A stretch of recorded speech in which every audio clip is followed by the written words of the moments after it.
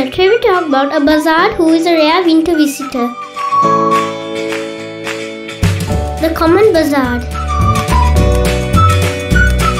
The common buzzard is a medium to large bird of prey which has a large range.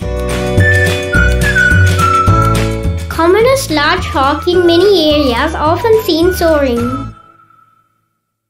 The species lives in most of Europe. However, buzzards from colder parts of the northern hemisphere, as well as those that breed in the eastern part of their range, typically migrate south for the northern winter, many journeying as far as South Africa.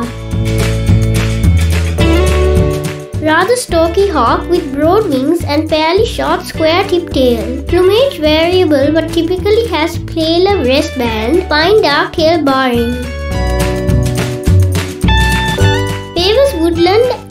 And forest edge farmland with hedges. Locally in towns with larger trees and wooded parks. Also hunts over open country, especially moorland and rough grassland.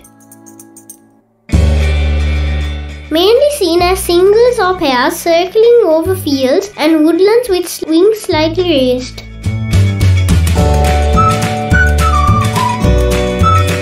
Their calls are like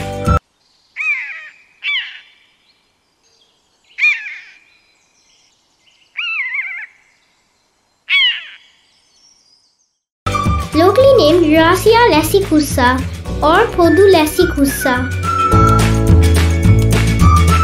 I have not seen the common buzzard. This is the month of May. On the full moon day of May, the entire Sri Lanka celebrates Vesak festival, which commemorates Buddha's birth, enlightenment and death. These are some of the pictures of us visiting Vesak decorations set on all parts of Sri Lanka.